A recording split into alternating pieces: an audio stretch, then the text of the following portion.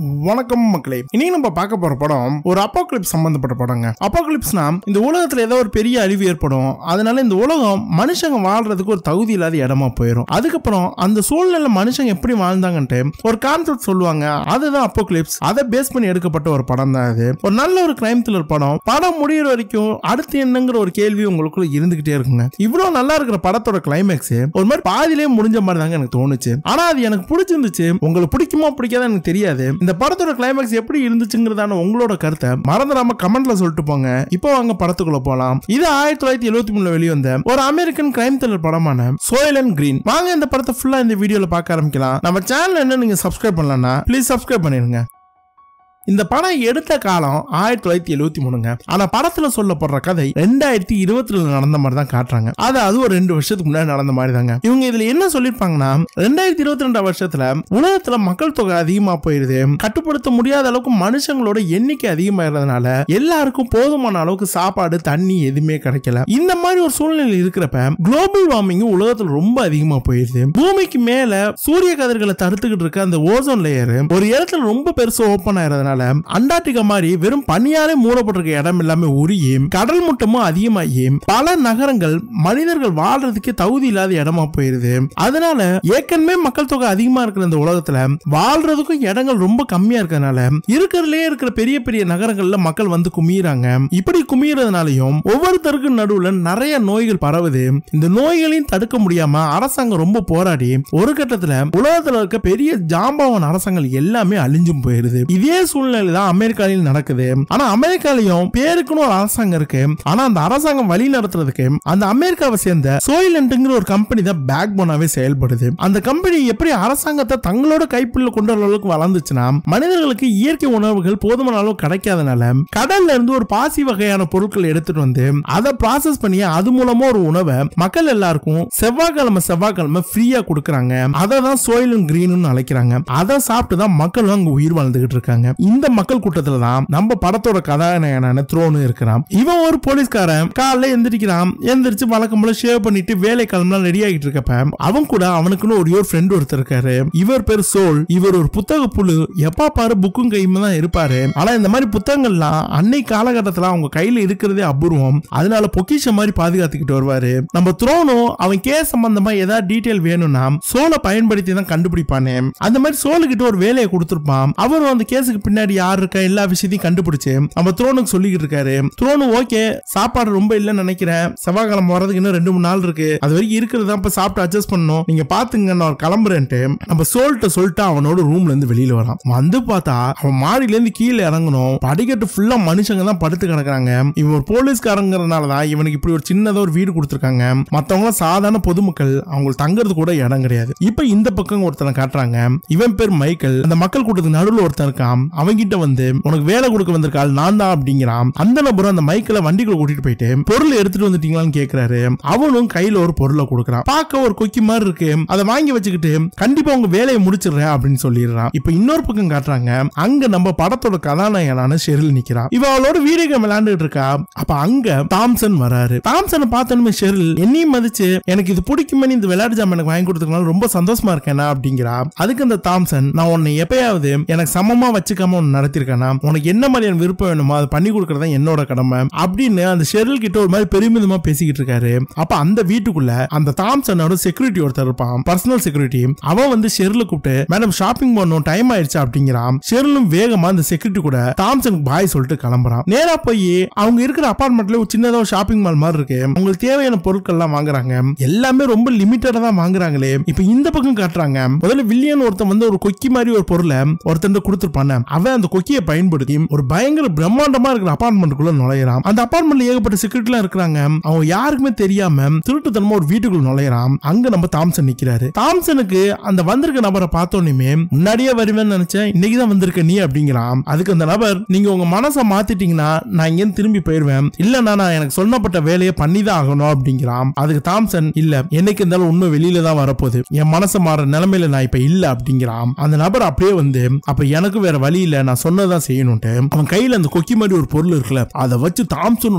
முதுகுலயே மாத்தி மாத்தி அடிக்கிறான். தாம்சன் ஸ்பாட்ல இறந்து போய் கீழே விழுந்துடுறாரு. இப்போ இந்த விஷயம் போலீஸ் ஸ்டேஷனுக்கு போயிருது. இந்த கேஸ் இன்வெஸ்டிகேட் பண்றதுக்கு நம்ம த்ரோனு தான் வராரு. அந்த அபார்ட்மெண்டோட சீஃப் செக்யூரிட்டி ஒருத்தர் இருப்பான். அவனை கூப்பிட்டு ஏன்பா கேமரா எல்லாம் வேலை செய்யலையா? காலையில இருந்து ஓடுனதெல்லாம் காட்டு அப்படிங்கிறாரு. அந்த சீஃப் செக்யூரிட்டி இல்ல இன்னைக்கு மெயின்டெனன்ஸ் வேலை. அதனால எல்லா கேமரா ஆஃப்ல தான் இருந்திருக்கும். அது தெரிஞ்சுக்கிட்டு அந்த நபர் வந்திருக்கான்னு நினைக்கிறேன் அப்படி இப்படிங்கிறான். நம்ம த்ரோன் சரி சரி முதல்ல எனக்கு அந்த இடத்துக்கு கூட்டிட்டு போன்ட்டு நேரா அந்த தாம்சனோட வீட்டுக்குள்ள நுழையிறாரு. உள்ள நுழைஞ்சா அந்த தாம்சனோட பர்சனல் செக்யூரிட்டியும் கூடவே அந்த ஷெரில் பொண்ணு உட்காந்துருக்கா நம்ம த்ரோன் உள்ள போயிட்டு அந்த செக்யூரிட்டி கிட்ட இந்த பொண்ணு யாரா? அவரோட மனைவி யாருன்னு சொல்லி கேக்குறாரு. அதுக்கு அந்த செக்யூரிட்டி இல்ல ஷெரில் ஒரு பர்னிச்சர் இந்த வீடு யாருக்கு சொந்தமா? அவங்க கூட தான் இருப்பாங்க. அப்படிங்கிறான். நம்ம த்ரோன் ஷெரில் அங்கே உட்கார சொல்லிட்டு அந்த செக்யூரிட்டி மட்டும் கூட்டிட்டு உள்ள போறான். உள்ள போயிட்டு அங்க இறந்து கிடக்குற தாம்சனை ஃபர்ஸ்ட் செக் பண்றான். நம்ம செக்யூரிட்டி கிட்ட எல்லாம் நிறைய விசாரணை கேக்குறான். நீ அந்த டயத்துல கரெக்டா எங்க போயிருந்த? அப்படின்னு சொல்லி கேக்குறான். செக்யூரிட்டியும் சாப்பாடு வீட்டுக்கு பொருள் எதுவுமே இல்ல. அதை வாங்குறதுக்காக நானும் ஷெர்லும் போயிருந்தோம் அப்படிங்கிறான். அதுக்கு நம்ம த்ரோன் அது என்னப்பா கரெக்டா ரெண்டு பேரும் அந்த டயத்துல இருந்து இங்க இருந்து போயிருக்கீங்க? சாப்பாடு பொருள் வாங்கினா யாராவது ஒரு ஆள் போயிருக்கலாமே? ஏன் நீயும் ஷெர்லும் சேர்ந்து போனீங்க? அப்படின்னு சொல்லி கேட்கலாம் இல்ல எங்க பாஸ் எப்பவுமே அப்படிதான் அனுப்பாரு ஷெரில் வீட்டுக்குள்ளே இருக்கிறதுனால கொஞ்சம் வெளியில போயிட்டு வரணும் பாரு. ஆனா இந்த அபார்ட்மெண்ட் ரூல்ஸ் படி ஒரு ஃபர்னிச்சர் வெளியில ஃப்ரீயாலாம் சுத்த முடியாது. அதுக்காக என்ன துணைக்கு அனுப்புவாரு? அந்த மாதிரி வழக்கமா வாங்க போற மாதிரி தான் நாங்க ரெண்டு பேர் போயிருந்தோம். போயிட்டு வந்ததுக்கு அப்புறம் தான் இப்படி ஆயிருந்துச்சு அப்படிங்கிறான். நம்ம த்ரோன் அப்படியே அந்த வீடை சுத்தி பார்த்துக்கிட்டே இருக்கிறான். அங்க இருக்கிற ஒயின் எல்லாம் எடுத்து குடிக்கிறான். நேரா பாத்ரூம் போறான். அங்க அப்படியே தண்ணியை திறந்துட்டு கொஞ்ச நேரம் தண்ணியில கைய வச்சுக்கிட்டே இருக்கிறான். டக்குன்னு அந்த செக்யூரிட்டி கிட்ட சரி நீ அன்னைக்கு காலையில இருந்து சாயங்காலம் வரைக்கும் என்ன பண்ணுங்கிற எல்லா விஷயத்தையும் ஒரு லெட்டர் எழுது போ. நான் என்ன சர்ச் பண்ணிட்டு அந்த செக்யூரிட்டி அங்க இருந்து அனுப்பிச்சுட்டு நம்ம த்ரோ நேரா போய் அந்த டேப்ல வர தண்ணியால தன்னோட முகத்தை கழுவிட்டு அங்க சோப்பு இருக்கு. அதை அப்படியே மோந்து பார்த்துட்டு மோதல தேய்ச்சிட்டு பயங்கரமா பூரிச்சுக்கிறான். அப்புறம் அங்க இருக்க சென்ட் பாட்டில் அந்த சோப்பு அங்க இருக்க டர்க்கி டவல் எல்லாத்தையும் எடுத்துட்டு வந்து ஒரு தலைவாணி உரையக்குள்ள போட்டு வச்சுக்கிறான். இப்ப இந்த பக்கம் ஷெரில் பயங்கரமா ஃபீல் பண்ணிக்கிட்டு இருக்கா. அந்த பர்சனல் செக்ரட்டரி அங்க உட்காந்துக்கிட்டு ஷெர்லுக்கு ஆறுதல் படுத்திக்கிட்டு இருக்கா அப்ப த்ரோன் அங்கேயிருந்து வந்து ஷெர்ல பார்த்து என் கூட நீ ஒரு நிமிஷம் வரியா? அப்படின்னு ஷெர்ல கூட்டிட்டு உள்ள போறாரு. போயிட்டு ஷெர்லோட உடம்பு ஃபுல்லா செக் பண்றாரு. செக் பண்ணிட்டு நம்ம ஷெர்ல் கிட்ட என்ன உன் உடம்புல எந்த ஒரு காயமும் இல்ல? இந்த மனுஷன் உன்னை அடிச்சு கிடிச்சு அந்த மாதிரி எந்த கொடுமையும் படுத்துறது கிடையாதா? அப்படின்னு சொல்லி கேக்குறான். அதுக்கு அந்த ஷெர்ல் இல்ல அவர் என்ன ரொம்ப டீசெண்டா நடத்துவாரு. என்ன இந்த பர்னிச்சர் மாதிரி எல்லாம் ட்ரீட் பண்ண மாட்டாரு. அவருக்குன்னு ஒரு மனைவி இருந்தா எப்படி ட்ரீட் பண்ணுவாங்களோ அந்த மாதிரி தான் ட்ரீட் பண்ணாரு. என் மேல பயங்கர கேரா இருந்தாரு. அப்படிங்கிறா நம்ம த்ரோன் அதெல்லாம் கேட்டுக்கிட்டு அங்க இருக்க சோபம் எல்லாம் படுத்துக்கிட்டு இப்ப ஜம்முன்னு இருக்கிற அந்த மாதிரி ஃபீல் பண்ணிக்கிட்டு இருக்கான். கொஞ்ச நேரத்துல அந்த பாடி எடுத்துட்டு போறதுக்கு ஆளுங்க வந்துடுறாங்க. த்ரோனும் அந்த பர்சனல் செக்யூரிட்டி கிட்ட அவள் எழுதின லெட்டரையும் வாங்கிக்கிட்டு அந்த வீட்ல இருந்து ஒரு சில பொருள் எல்லாம் ஆட்டை போட்டிருப்பான அது எல்லாத்தையும் எடுத்துக்கிட்டு சரி அடுத்தடுத்து இன்வெஸ்டிகேஷன் தேவைன்னா நான் கூப்பிடுவேன் இப்ப நான் கிளம்புறேன்ட்டு வேகமா இங்க இருந்து கிளம்புறான். கிளம்பி மறுபடியும் வீட்டுக்கு போறான். போற பாதையில இருக்க படிக்கட்டுலாம் ஆளுங்களா படுத்திருக்காங்க. அவங்க நடுவுல அப்படியே தத்து தடு மாதிரி ஏறி நேரா வீட்டுக்கு போறான். போயிட்டு அவர் வீட்டுல இருக்க ஷோலு கிட்ட அந்த செக்யூரிட்டி எழுதுன எழுத்துற நீட்டுறாரு. நீட்டங்க அப்புறம் கொஞ்ச நேரத்துல அந்த வீட்டுல இருந்து எடுத்துட்டு வந்திருப்பாருல சோப்பு எல்லா பொருளையும் எடுத்து காட்டுறாரு. சோலுக்கு பயங்கர ஆச்சரியமா இருக்கு. அப்ப அந்த வீட்டுல இருந்து ஒரு ரெண்டு பெரிய புக்கை எடுத்துட்டு வந்திருப்பான். புக்கை பார்த்ததுமே சோலுக்கு பயங்கர குஷி ஆயிரும் இது என்ன புக் அப்படின்னு சொல்லி கேட்கறான் அதுக்கு த்ரோனு எனக்கு தெரிஞ்ச நான் ஏன் கொண்டு வரேன்? இந்த சோயிலன் கம்பெனி பத்தின புக்கா தான் இருக்கு. நீ படிச்சு பாரு உனக்கு என்ன புரியுதோ அதை பார்த்துட்டு என்கிட்ட சொல்லு அப்படிங்கிறான். சோலு செம்ம குசியாயிடுறாரு அப்படி புக்கு படிக்க ஆரம்பிக்கிறாரு. அப்ப த்ரோனு அந்த வீட்டுல இருந்து கொண்டு வந்திருப்பான. ஒயினு சோப்பு அப்ப சாப்பிடுறதுக்கு வெங்காயம் லெட்யூஸ் அப்புறம் பீஃப் கறின்ட்டு அங்க இருந்து ஆட்டையை போட்டது எல்லாத்தையும் சோலுக்கு முன்னாடி எடுத்து வைக்கிறப்ப சோல் அப்படியே ஒரு மாதிரி கண் கலங்க ஆரம்பிக்கிறாரு. சரி சரி நீ வேலை இருந்தா கிளம்பு. திரும்ப வரப்போ உனக்கு நிறைய அதிசயம் பண்ணி வைக்கிறேன் அப்படின்ட்டு நம்ம த்ரோன்ட்ட சொல்றாரு. த்ரோன் சிரிச்சுக்கிட்டே அங்க இருந்து கிளம்புறாரு. கிளம்பி நேரம் அவரோட ஆபீஸ் போய் அவரோட சீஃப் சார்ஜன்ட்ட பார்க்க போறாரு. அவர்கிட்ட இங்க நடந்த எல்லாத்தையுமே சொல்றாரு. அதுக்கு சீஃப் சார்ஜன் எவனா திருட வந்திருப்பான்டா அப்ப ஏதாவது அடிச்சுட்டு போயிருந்திருப்பான் அப்படிங்கிறான். அப்ப நம்ம த்ரோன் யாரு திருட வந்த மாதிரி தெரியல. அவன் முதுகுல நல்லாவே அடிச்சிருக்கான். முதுகோட நடுப்பகுதியில அவ்வளவு அழகா அடிக்கவே முடியாது. அது பாக்குறதுக்கு நீ அடி நான் காட்டுறேங்கிற மாதிரி இருந்துச்சு. எனக்கு இதுக்கு பின்னாடி வேற ஏதோ ஒரு இருக்கு. அவரை யாரோ நல்லா பிளான் பண்ணி கொலை பண்ணிருக்கான் கொலை பண்ண போறவன் தன்னை கொலை பண்ணதான் வந்திருக்காங்கிறது தெரிஞ்சும் இந்த தாம்சன் எதிர்த்து எதுவும் பண்ணலங்கிறது மட்டும் தான் எனக்கு புரியுது அப்படிங்கிறான். அப்ப இந்த சீஃப் சார்ஜன் ஓகே ஓகே ரொம்ப டயர்டுக்காத சீக்கிரம் இந்த கேஸை சரி பண்ணி முடிய அடுத்தடுத்து வேலை இருக்கு அப்படிங்கிறான். இப்ப அந்த ஊரோட தெருவெல்லாம் காட்டுறாங்க. பொதுமக்கள் தண்ணி வாங்குறதுக்காக ஒரு பெரிய கியூல நிக்கிறாங்க. அந்த கியூல தான் நம்ம சோலு நிக்கிறாரு. இந்த பக்கம் நம்ம த்ரோனு ஃபர்ஸ்ட் அந்த பர்சனல் செக்யூரிட்டி இருப்பான தாம்சனுக்கு. அவனை ஃபாலோ பண்ணிட்டு தான் போயிருப்பானு. அவன் வீட்டுல இருந்து கிளம்பி போன நேரத்துல அவனுக்கு தெரியாம நேரா அவனோட வீட்டுக்கு வீட்டுக்குள்ள நுழையலாம் அந்த வீட்டுக்குள்ள ஒரு ஃபர்னிச்சர் இருக்கா? ஆக்சுவலா இந்த மாதிரி பொண்ணுங்கள் எல்லாம் இந்த படத்துல ஃபர்னிச்சர்னு சொல்லுவாங்க. அதனாலதான் நானும் அதையே யூஸ் பண்றேன். அதுக்கு சரியான மாற்று வார்த்தை எனக்கு எதுவும் தெரியல. நீங்களும் குழம்பிடக்கூடாதுங்கிறதுக்காக தான் நான் இதே வார்த்தையை கண்டினியூ பண்றேன். இப்ப தொடர்ந்து படத்துக்குள்ள போலாம். அங்க இருக்க நிறைய பொருட்கள் ரொம்ப புதுசா இருக்கு. நம்ம த்ரோனுக்கு ஒரு மாதிரி சந்தேகமா இருக்கு. அந்த பொண்ணுகிட்ட இந்த மாதிரி அபார்ட்மெண்ட்லயும் ஒன்ன மாதிரி ஒரு ஃபர்னிச்சர் அரேஞ்ச் பண்றாங்க அப்படின்னு சொல்லி கேட்கிறாரு அதுக்கு அந்த பொண்ணு இந்த அபார்ட்மெண்ட்ல வேற எங்கேயும் ஃபர்னிச்சர் கிடையாது. நான் ஒரு ஆள் மட்டும் தான் இந்த பர்சனல் செக்யூரிட்டியோட பாஸ் தான் என்ன அனுப்பிச்சு விட்டாரு அப்படிங்கிறா நம்ம த்ரோன் அந்த வீடு ஃபுல்லா ஃபுல்லா செக் பண்றான். செக் பண்ணிட்டு ஓகே அவன் வந்தானா சொல்லிருங்க நான் வீட்டுக்கு வந்து செக் பண்ணிட்டு அப்புறமா நான் கூப்பிடுறப்ப ஆபீஸ்க்கு வர சொல்லுங்கன்னு சொல்லிட்டு வேகமா போயிடுறான். இப்போ த்ரோன் வீட்டுல காட்டுறாங்க. அந்த சோலு நம்ம த்ரோனு அந்த சாம்சன் இறந்து போனானே அவன் வீட்டுல இருந்து ஆட்டையை போட்டு வந்திருப்பான சாப்பாடு பொருள் அதெல்லாம் வச்சு ஒரு சாப்பாடு பண்ணியிருக்கான். ரொம்ப ரொம்ப நார்மலான சாப்பாடு தான். ஒரு லெட்யூஸ் வச்சு சைடுல இந்த பீஃப் கறியை வச்சு ஒரு கிரேவி மாதிரி பண்ணிருப்பான் இது சாப்பிடறப்போ த்ரோனுக்கும் சோலுக்கும் அப்படியே கண்ணீர் மழுக வருது. அப்படியே சந்தோஷமா சாப்பிட்டு முடிக்கிறாங்க. சாப்பிட்டதுக்கு அப்புறம் த்ரோன் சோல் கிட்ட நான் இந்த பர்சனல் செக்யூரிட்டி இருக்கானே அவன் வீட்டுக்கு போனான். அவன் வீட்டுல ஒரு பர்னிச்சர் இருக்குப்பா அவனுக்குன்னு. அந்த அளவுக்கு வசதி இருக்கான்னு சொல்லிட்டு அந்த பொண்ணு கிட்ட விசாரிச்சா அவ சொல்றா அந்த பர்சனல் அசிஸ்டன்டோட பாஸ் தான் அவனுக்குன்னு ஒரு பர்னிச்சர் அரேஞ்ச் பண்ணதா சொல்றா. ஆனா தாம்சன் அந்த மாதிரி எந்த ஒரு பொண்ணையுமே இந்த பர்சனல் செக்யூரிட்டிக்கு அரேஞ்ச் பண்ண மாதிரி எந்த ரெக்கார்டு இல்ல. இவன் வேற யாருக்காவது ஒர்க் பண்றானா என்னன்னு தெரியணும் அப்படின்னு சொல்றான். அப்ப சோலு நீ அந்த தாம்சன் வீட்ல இருந்து ஒரு புக் எடுத்துட்டு வந்தீல அந்த சோயிலன் கம்பெனியோட புக் அந்த புக் படிச்சப்ப எனக்கு ஒரு விஷயம் தெரிஞ்சிச்சு. இந்த தாம்சன் தான் அந்த புக்கை எழுதுனது. இவன் கடல் சால் உயிரினங்களை பத்தி ஆராய்ச்சி பண்றவன். இனி மக்கள் எல்லாருக்கும் அண்ட் கிரீனுங்கிற ஒரு உணவு கொடுக்குறாங்களே கடல்ல இருந்து ஒரு பாசி எடுத்துட்டு வந்து அதை ப்ராசஸ் பண்ணி அது மூலமா ஒரு உணவு உருவாக்கி கொடுக்குறாங்களே அந்த உணவுக்கு அடித்தளம் ஃபார்முலா உருவாக்குனதே இந்த தாம்சன் தான். ரெண்டாயிரத்தி பதினெட்டுல இருந்து ரெண்டாயிரத்தி இருபத்தி வரைக்கும் அந்த கம்பெனியோட போர்டுல ஒரு முக்கியமான மெம்பரா இருந்திருக்காரு. இப்பதான் ஒரு ஆறு மாசத்துக்கு முன்னாடி இந்த போர்டுல இருந்து வெளியிட்டு வந்திருக்காரு. இத பத்திலாம் இந்த புக்ல எழுதியிருக்கு. இவரை பத்தி இன்னும் நிறைய டீட்டெயில் நம்மளால கலெக்ட் பண்ண முடியும். நான் ஹெட் ஆபீஸ்ல போய் பாக்குறேன் அப்படிங்கிறான். நம்ம த்ரோனும் ஓகே உங்களால எவ்வளவு டீட்டெயில்ஸ் கலெக்ட் பண்ண முடியும் கலெக்ட் பண்ணுங்க. நான் போய் என் சீஃபை பாக்குறேன்னு சொல்லிட்டு அங்கிருந்து கிளம்பி. தெருல நடந்து போய்கிட்டு இருக்கப்ப த்ரோனுக்கு பின்னாடி யாரோ வர மாதிரி த்ரோனுக்கு ஃபீல் வருது. டக்குன்னு போய் அங்க இருக்க ஒரு பிசிஓ எடுத்து நேரா அவனோட பாஸுக்கு கால் பண்றான். கால் பண்ணி இந்த இறந்து போன தாம்சன் யாருங்கிற விஷயம் உங்களுக்கு தெரியுமா அப்படின்னு சொல்லி கேக்குறான். அதுக்கு அந்த பாஸ் இல்ல எனக்கு அது தெரியாது அப்படிங்கிறான். அப்ப நம்ம த்ரோன் இந்த சோயிலன் கம்பெனி இருக்குல்ல அந்த கம்பெனில ஒரு நாலு வருஷமா இவர் போர்ட்ல இருந்திருக்கிறாரு. அந்த சோயிலன் கிரீன் சாப்பாடோட ஃபார்முலா கண்டுபிடிச்சதே இவர் தான் போல. அந்த சோயிலன் கம்பெனிக்கு இவருக்கும் பயங்கரமான சம்பந்தம் இருக்கு. அந்த கம்பெனி ஆட்கள் தான் இவர் ஏதாவது கொலை பண்ணிருப்பாங்களோ அப்படிங்கிற மாதிரி கேட்கறான் அதுக்கு அந்த பாஸ் அந்த கம்பெனி தான் நம்ம நாட்டுக்கே சோர் போட்டுட்டு இருக்கு நம்ம மாட்டுக்கு எடுத்தவங்க ஒருத்தவங்க அந்த கம்பெனி மேல பழி போட முடியாது. அப்படி அந்த கம்பெனியால தான் இவர் இறந்திருக்காருனா அதுக்கான ஆதாரம் நமக்கு வேணும். அது இல்லாம இப்படிலாம் நீ பேசிட்டு இருக்காத அப்படிங்கிறாரு. அப்ப த்ரோனு சரி எனக்கு சரியான ஆதாரம் கிடைக்குதான்னு பாக்குறேன்னு போனை வைக்கிறான். இப்ப இந்த பக்கம் பாஸும் போனை வைக்கிறாரு. அந்த சீஃப் சார்ஜனுக்கு முன்னாடி இந்த முத முதல்ல தெருவுல வந்து இந்த தாம்சனை கொலை பண்றதுக்கு ஆள் அனுப்பி போடுவான்னு வில்லியம்னு ஒருத்தன். அந்த வில்லியம் அங்க உட்காந்துருக்கான் அவன் இந்த சீஃப் சார்ஜன்ட்ட நான் மேயர் ஆபீஸ்ல இருந்து வரேன். அந்த இறந்து போனார்ல தாம்சன். அவரோட கேஸை இதோட க்ளோஸ் பண்ணுங்க. இதுக்கு மேல அந்த கேஸை பத்தி எதுவும் இன்வெஸ்டிகேட் பண்ணாதீங்க அப்படிங்கிறாரு. சீஃப் சார்ஜன்டாலையும் ஒன்னும் சொல்ல முடியல. சேரின் மண்டை ஆடிட்டு தான் விடுறாரு இப்ப இந்த பக்கம் காட்டுறாங்க.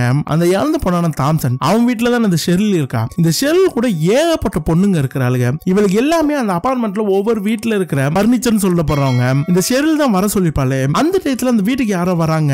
ஷெரில் நேரா போய் கதவை திறந்தா அதை அந்த த்ரோனு த்ரோன் உள்ள வரான். வந்து எல்லா பொண்ணுங்களையும் பாக்குறான் என்ன ஏதோ பார்ட்டி நடக்குது போல அப்படிங்கிறான். அதுக்கு ஷெரில் இல்ல இந்த அபார்ட்மெண்ட்ல எப்பவுமே வீட்டுல ஆளுங்க இருந்துகிட்டே இருப்பாங்க. எங்களை மாதிரி பொண்ணுங்களுக்கெல்லாம் தனிமையான நேரமே இருக்காது. இந்த மாதிரி யாராவது காலி பண்ணாவோ இல்ல இறந்து போனாதான் அடுத்த ஆள் வர வரைக்கும் ஒரு ஒன்னு ரெண்டு நாள் எங்களுக்கு ஃப்ரீயா இருக்கும். அப்ப அந்தந்த வீட்டுல இருக்கிற ஓனர் தூங்குறப்பயோ இல்ல வேற ஏதாவது வேலை பார்த்துட்டு இருக்கப்பையோ அவங்கள்ட்ட பர்மிஷன் கேட்டுக்கிட்டு இப்படி யார் இல்லாத வீட்டுல வந்து ஒரு ஒரு மணி நேரம் ரெண்டு மணி நேரம் இருந்துட்டு போவோம் வேற எதுவும் கிடையாது அப்படிங்கிறான் நம்ம த்ரோனு நம்ம ஷெர்ல தனியா கூட்டிட்டு போய் ஆனா இதெல்லாம் தப்பாச்சே அப்பார்ட்மெண்ட் ரூல்ஸ்ல இது கிடையாது பர்னிச்சர்னு வந்த பொண்ணுங்க எல்லாம் அவங்கவுங்க வீட்டுல தானே இருக்கணும் வெளியில வரக்கூடாதே அப்படிங்கிறான். அதுக்கு ஷெரில் எந்த பதிலும் சொல்லாம இருக்கிறா? அப்ப த்ரோன் ஷெரில் கிட்ட சரி எனக்கு ஒரே ஒரு விஷயம் மட்டும் தெளிவா சொல்லு. இந்த தாம்சன் கொலை பண்ண பண்றது கொஞ்ச நாளைக்கு முன்னாடி ஏதாவது சந்தேகம் போற மாதிரி ஏதாவது விஷயம் பண்ணிட்டு இருந்தாரா அப்படின்னு கேக்குறான். அதுக்கு ஷெரில் சொல்றா இல்ல அவன் அந்த மாதிரிலாம் எதுவும் பண்ணல. ரெண்டாயிரத்தி பதினெட்டுல இருந்து நானும் அவரும் ஒன்னா தான் இருக்கிறோம். ஆனா கொலை பண்ணப்படுறதுக்கு கொஞ்ச நாளைக்கு முன்னாடி தொடர்ந்து கடைசி ஒரு ரெண்டு மூணு ஞாயிற்றுக்கிழமை பக்கத்துல இருக்க சர்ச்சுக்கு போய்கிட்டு இருந்தாரு. என்னையும் கூட்டிட்டு போவாரு. சாமியை கும்பிட்டுட்டு கிளம்பாம அங்க இருக்க ஃபாதர்ட்ட போய் பாவ மன்னிப்பு கேட்கணும்ட்டு கன்ஃபெஷன் ரூமுக்கு போயிட்டு கிட்டத்தட்ட ஒரு இருபது நிமிஷம் கழிச்சு தான் வெளியில வருவாரு. அது மட்டும் தான் அவர் சமீப காலத்துல பண்ண வித்தியாசமான விஷயம். அதை தவிர்த்து வேற எதுவுமே இல்ல அப்படிங்கிறா நம்ம த்ரோனும் கேட்டுக்கிட்டே இருக்கிறான் ஷெல் கிட்ட நீ எப்படி இதே மாதிரி ஒரு வாழ்க்கை வாழ போறியா? இல்ல வெளியில வந்து இந்த மாதிரியான கஷ்டத்தை அனுபவிச்சாலும் உனக்குன்னு ஒரு நிம்மதியான வாழ்க்கையை வாழ போறியா? அப்படின்னு சொல்லி கேட்கிறான் அதுக்கு ஷெரில் இதான் எங்களோட வாழ்க்கை. இதுக்காக தான் நாங்க உருவாக்கப்பட்டிருக்கோமே. அப்படின்னு ஒரு மாதிரி ஃபீல் பண்ணி சொல்லிக்கிட்டு இருக்கா இது கேட்கறப்ப நம்ம த்ரோனுக்கு ஒரு மாதிரி ஆகுது. ஷெரில் மேல ஒரு வகையான அக்கறையும் அவனுக்கு வருது. அப்ப அவங்க இருக்க அபார்ட்மெண்ட்குள்ள அந்த பில்டிங்கோட செக்யூரிட்டி வரான் வந்து அங்க இருக்க பொண்ணுங்க எல்லாரையும் போட்டு அடி அடின்னு அடிக்கிறான் நம்ம த்ரோன் வெளியில வரான். வந்து அந்த செக்யூரிட்டி பார்த்து என்னடா பண்றா? அப்படின்னு சொல்லி கத்துறான். அதுக்கு அந்த செக்யூரிட்டி இந்த பொண்ணுங்க எல்லாம் ஒரு பர்னிச்சர்ஸ் அந்தந்த வீட்டுல மட்டும் தான் இருக்கணும். வீட்டை விட்டு வெளியில வரவே கூடாது. வந்தது இல்லாம இப்படி கூத்தடிக்கிறாளுங்க. அதனால இவளுக்கு போட்டு அடிக்கிறான் அப்படிங்கிறான். நம்ம த்ரோன் அப்படியே மெல்லமா கிட்ட வந்து அவங்க எல்லாம் பொண்ணுங்க. நீ அடிச்சுன்னா உங்களுக்கு வலிக்கும். வலி தாங்காம திரும்ப அடிச்சாங்க. மாவன நீ இங்க இருக்கிற இடமே இல்லாம போயிடும் ஒரு நபர் இன்னொரு நபர் அடிச்சானா அந்த அடிச்சவன் மேல என்ன மாதிரியான கேஸ் பாயின்னு உனக்கு தெரியும்ல? போலீஸ்காரன் நான் இருக்கிறப்ப இப்படி நீ பண்ணலாமா? அப்படின்ட்டு அந்த செக்யூரிட்டி மிரட்டி கேட்கறான் செக்யூரிட்டி அது கேக்குறவனு பயமாயிடுது. இல்ல சார் ரொம்ப கோவத்துல பண்ணிட்டு சார். என்ன மன்னிச்சிருங்க சார் அப்படி இப்படிங்கிறான். நம்ம துரோன் அங்க இருக்க பொண்ணுங்கள்ட்ட எல்லாம் அவன் மேல ஏதாவது கேஸ் கொடுக்குறீங்களா? அப்படின்னு சொல்லி கேட்கறான் அந்த பொண்ணுங்க அப்படியே அமைதியா இருக்கிறான் சரி கிளம்பி அவங்க அவங்க அப்பார்ட்மெண்ட் போங்கன்ட்டு எல்லா பொண்ணுங்களையும் அங்கேயிருந்து அனுப்பிச்சிடறான். அனுப்பிச்சக்கு அப்புறம் நம்ம துரோன் அங்கே செருள்கிட்ட வந்து நீ பேசாம என் கூட வந்துறேன் நான் உனக்கு ஒரு வாழ்க்கை தரேன். சின்ன வீடு தான் சாப்பாடுலாம் இந்த அளவுக்கு பிரம்மாண்டமாலாம் இருக்காது. ஆனா இருக்கிற சாப்பிட்டு சந்தோஷமா வாழலாம். இப்படி உன்னோட உடம்பையும் மனசையும் கஷ்டப்படுத்திட்டு ஒரு வாழ்க்கை நீ வாழ வேணாம் அப்படிங்கிறான். அதுக்கு செருள் அப்படி ஒரு வாழ்க்கை வாழணும் தான் நானும் ஆசைப்படுறேன். அதுக்கு நான் கூடிய சீக்கிரம் பதில் சொல்றேன் அப்படிங்கிறான். த்ரோனு சிரிச்சுக்கிட்டே சரி நான் கிளம்புறேன். நீ கொஞ்சம் பார்த்து இருந்துக்கிட்டு ஷெரில்ட்ட சொல்லிட்டு நேரா அந்த சர்ச்சுக்கு தான் போறானு. அந்த சர்ச் வாசல்ல ஒரு அம்மா இறந்து கிடக்குறாங்க. அவங்க பொண்ணு அவங்க கையோட கட்டி வச்சிருக்காங்க. அந்த பொன் குழந்தைய தூக்கிட்டு அந்த சர்ச்சுக்குள்ள போய் அங்க இருக்க சிஸ்டர்ட்ட கொடுத்துட்டு அந்த சர்ச்சோட ஃபாதர் எங்க? அப்படின்னு சொல்லி கேட்கறான் உள்ள நிறைய பேர் அடிபட்டு இருக்காங்க நோயாளிகளா இருக்கிறாங்க. அவங்களுக்கான வைத்தியம் தான் அங்க போய்கிட்டு இருக்கு. அங்க அந்த ஃபாதர் நிக்கிறாரு. ஃபாதரை பார்த்தோன்னே த்ரோ நேரா போய் ஃபாதர் கிட்ட கொஞ்ச நாளுக்கு முன்னாடி ஒரு பணக்காரர் தாம்சன் உங்களை பார்க்க வந்தாரா? அவர் உங்களோட பாவமளிப்பு கேட்கறப்ப என்ன சொன்னாரு? ஏதோ ஒரு உண்மையை சொல்லியிருக்காரு. அது அந்த கம்பெனியான சோயலன் பத்தி தானே? அது என்ன மாதிரியான உண்மை அப்படின்னு சொல்லி கேட்கிறான் ஃபாதர் ஒரு மாதிரியா பேசுறாரு. அவர் சொன்னதே திரும்ப திரும்ப சொல்லிக்கிட்டு இருக்காரு. அவர் வாய்க்குள்ளே வளர்றாரு. த்ரோன் கிட்ட போய் என்ன ஃபாதர் நீங்க சொல்றீங்க அப்படின்னு சொல்லி கேட்கிறான் அதுக்கு அந்த ஃபாதர் ஆமா பணக்காரன் உண்மையை சொன்னா என்ன சொன்னா எனக்கு மறந்துருச்சு. எனக்கு ஞாபகம் இல்லையன்ட்டு. ஒரு மாதிரி வளர்றாரு. இதை பார்த்தோன்னே த்ரோனுக்கு ஒரு மாதிரி ஆகுது. அப்படியே ஃபாதர் அங்க விட்டுட்டு நேரா கிளம்பி அவனோட போலீஸ் ஸ்டேஷனுக்கு தான் போறானு. அப்ப அந்த சீஃப் சார்ஜன் நம்ம திரான கூட்டு இந்த பாரு திரான் மேயர் ஆபீஸ்ல இருந்து ஒருத்தன் வந்தான். பேர் வில்லியம்மா. இந்த இறந்து போன தாம்சனோட கேஸை இதோட முடிங்க அப்படின்னு சொல்லிட்டு போயிட்டான். மேயர் எதிர்த்துக்கிட்டு நம்மளால எந்த கேஸும் நடத்த முடியாது. அதனால நீ இந்த தாம்சன் கேஸை இதோட நிறுத்திடு அப்படிங்கிறாரு. இது கேட்கறப்ப த்ரோனு கோவம் வந்து சீஃப் சார்ஜன் கூட வாக்குவாதத்துல ஏற்படுறான். ஆனா சீஃப் சார்ஜன் கட்டன் ரைட்டா சொல்லிடுறாரு. ரொம்ப கோவமா சொல்றாரு. இது கேட்கறப்ப த்ரோனுக்கு இன்னும் கோவம் வருது. மேயர் இதுல இன்வால்வ் ஆறானா? கண்டிப்பா இதுக்கு முன்னாடி ஏதோ பெரிய சக்தி இருக்கிறதா தான் அர்த்தம். அந்த தாம்சன் இந்த சோயன் கம்பெனில வேலை பார்த்திருக்கான். தாம்சனோட பர்சனல் செக்ரட்டரி அவரை தனியா விட்டுட்டு போயிருக்கான். அவன் போன அந்த கேப்ல தான் எவனோ ஒருத்தன் வந்து இந்த தாம்சனை கொண்டுட்டும் போயிருந்திருக்கான். அந்த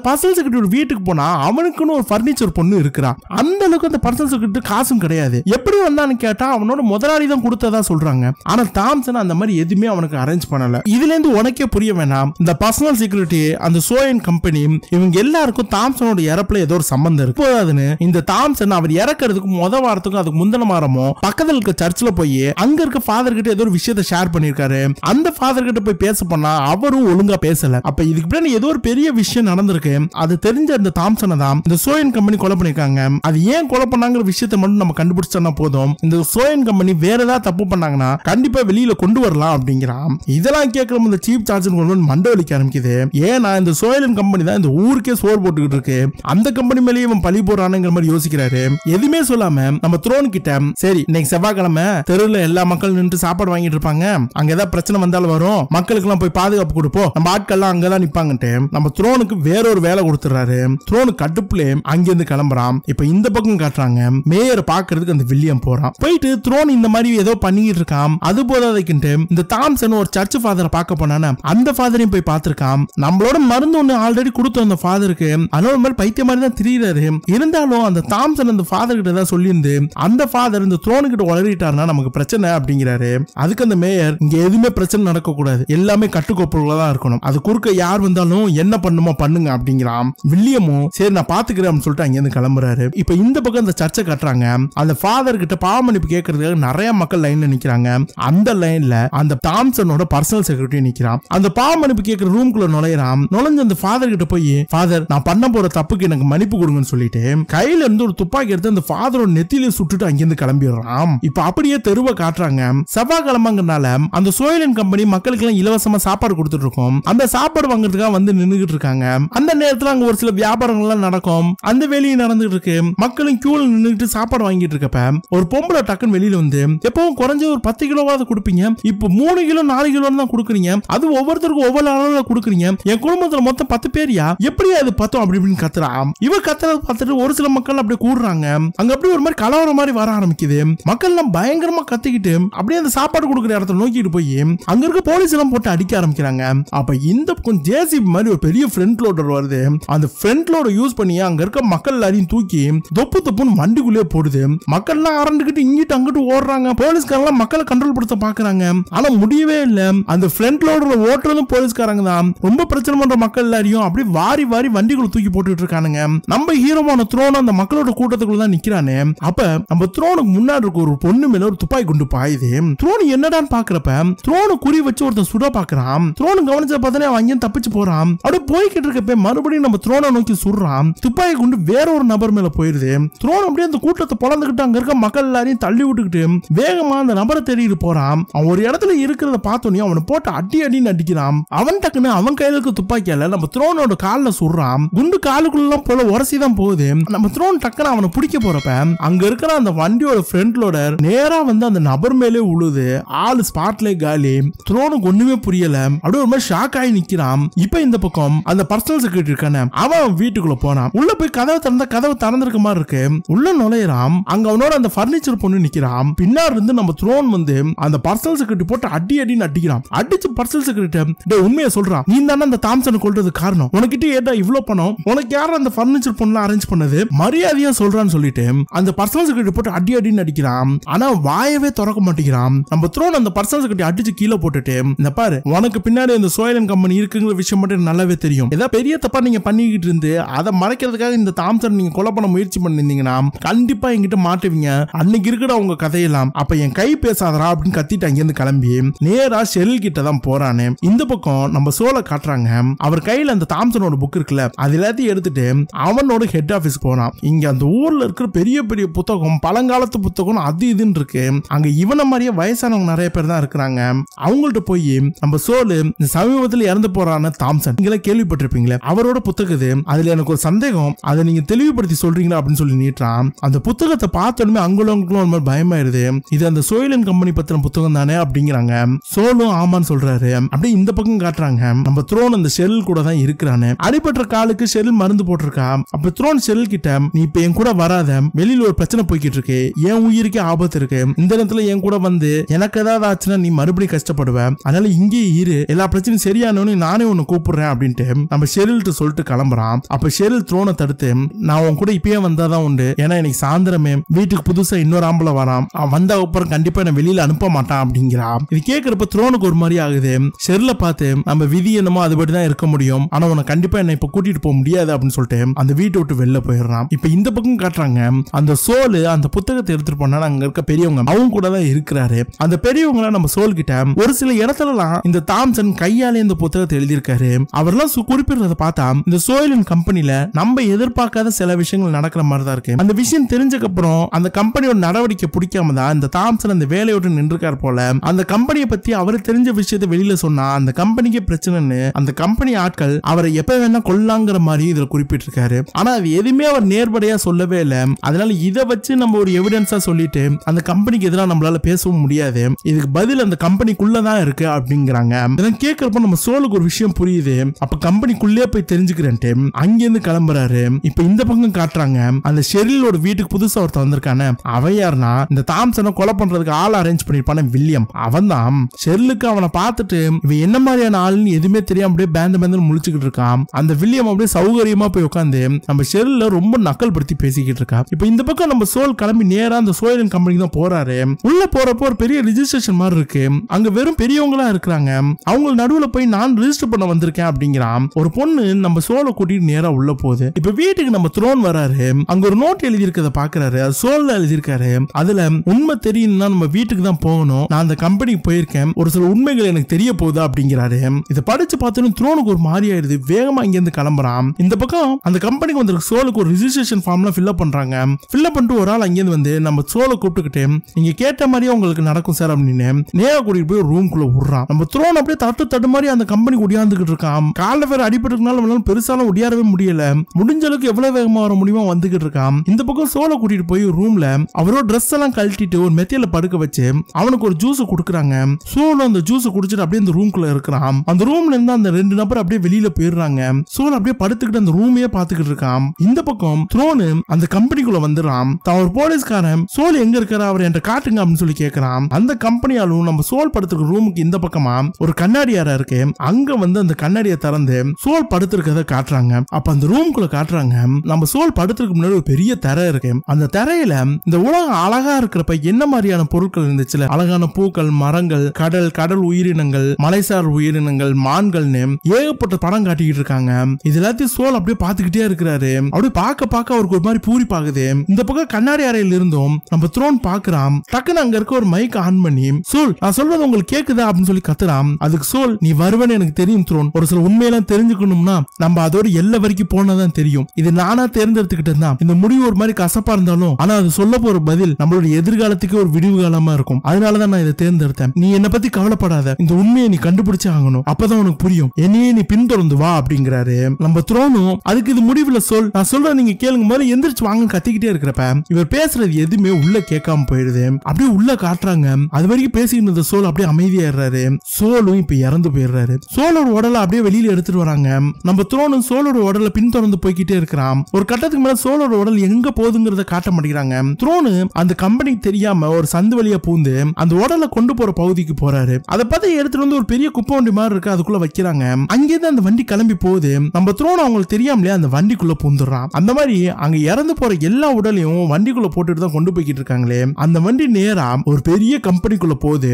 இதுதான் அந்த சோயிலன் ஃபேக்டரி ஃபேக்டரிக்குள்ள கொண்டு போற உடல் எல்லாத்தையுமே ஒரு கன்வேயர் மாதிரி ஒரு பகுதியில் போடுறாங்க. நம்ம த்ரோன் அந்த வண்டியிலேருந்து இறங்கி ஃபேக்டரிக்குள்ள நுழையிறான். பெரிய பெரிய மிஷினா இருக்கு. ஒவ்வொரு மிஷினும் பயங்கர ஜெய்ஜாண்டிக்கா இருக்கு. அப்படியே ஆச்சரியமா பாத்துக்கிட்டே இருக்கிறான். அப்ப அந்த கன்வேயர் வழியா வர உடல் எல்லாத்தையும் பாக்குறான் எங்கடா அந்த உடல் போதுன்னு அந்த உடலை ஃபாலோ பண்ணிக்கிட்டே போனா அந்த உடல் எல்லாமே அங்க ஒரு பெரிய தண்ணி தொட்டி மாதிரி இருக்கு. அந்த தட்டிக்குள்ள உளுந்து அப்படியே மூழ்க ஆரம்பிக்குது. அதுக்கப்புறம் அது வெளியே எந்த உடலும் வெளியில வரல. கீழே நிறைய டியூப் கனெக்ஷன் தான் போய்கிட்டு இருக்கு. அது எல்லாத்தையும் நம்ம த்ரோன் ஃபாலோ பண்ணிட்டு போறான். அங்க ஒரு கன்வேயர் கிடக்கு. அந்த கடல்ல இருக்க பாசி எடுத்து ப்ராசஸ் பண்ணி ஒரு ஃபுட்டா கொடுக்குறாங்கல்ல அந்த சாப்பாடு போய்கிட்டு இருக்கு. இது பாக்குறப்ப நம்ம த்ரோனுக்கு ஒண்ணு புரியுது.